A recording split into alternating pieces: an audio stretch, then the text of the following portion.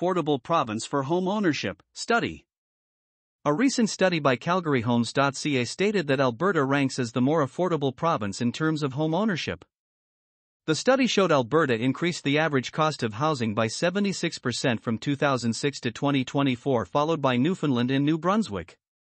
And one of the reasons is the demand and the population density compared to Vancouver and Toronto. It's always about demand and supply.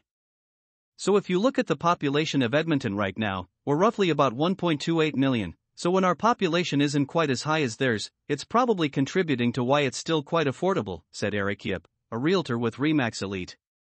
Despite ranking the most affordable in the country. One advocacy group says this is only great news to a certain group in Edmonton.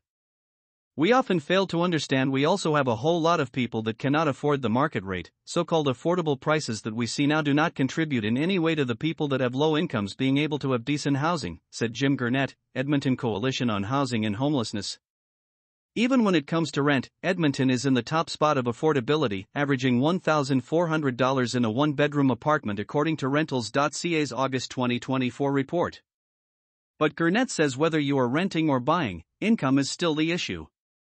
If your income can't afford market rates, then you're in serious trouble because we're not building social housing, we're not building non market housing. Gurnett says that provincial and federal governments need to pay attention to social housing to address the homelessness issue in the city.